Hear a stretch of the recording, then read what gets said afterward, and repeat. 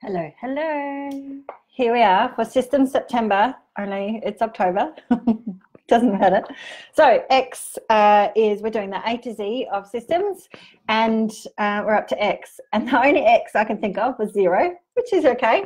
Um, I've used Xero in the past, so I'm happy to share my experiences with you um, and why I think um, having a program like Xero is uh, a good idea excuse my hair. I've, I've got massage hair. I'm looking for a massage this afternoon. Yay, Bev. um, sorry, it's a bit wild.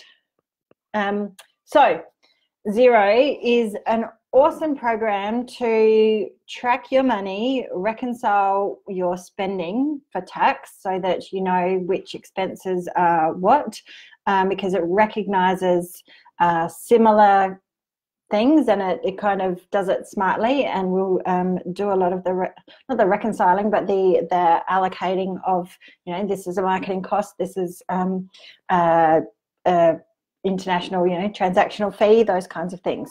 Um, and can give you all those lovely reports can do your invoicing for you um, can follow up the invoices. Um, you can just say, yes, send this to this client for this much money, and off it goes. You can send it via email, you can send it via straight from Xero, and you can pay straight into Xero if you're both um, Xero people. Um, so, you know, in terms of that, it's fabulous. Um, it does come with a cost. Um, and if you are, you know, still watching uh, your expenses when it comes to things like that, then um, W for Wave is probably a better option. Um, but the the more um, am I trying to say? The the more money coming in, and you know, especially when you get to that tax threshold, um, I do think Wave is uh, Xero. Sorry, is the best option for you because it just makes life easier. You don't want to be kind of messing around with um, and doing all the bookwork and the bookkeeping because Xero does it for you, um, and it's you know the minimum cost for it is twenty five dollars a month, and I did that for a good year um, but I wasn't, I decided not to go with it for longer than that because um, I wasn't utilizing all of its features um, the way my business was at the time. I have a CRM that does my invoicing. So if I, there wasn't a time when I needed that that invoicing process, so um, I didn't see the point of utilizing both, which is why Wave is fine for me because it's free. So when I do need to reconcile stuff, or send out the odd invoice for someone who's a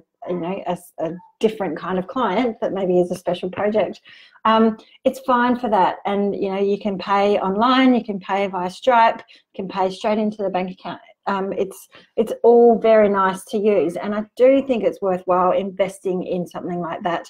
Um, because i think it's really important that if you have a business you need to have a business account you need to take charge of your money. Um, and I kind of didn't, I, I've always had a business account in my business, but for a long time I did put my head in the sand about money um, and just kind of thought it was all right. And it was all right, but it was an area of weakness for me. And therefore, the mindset um,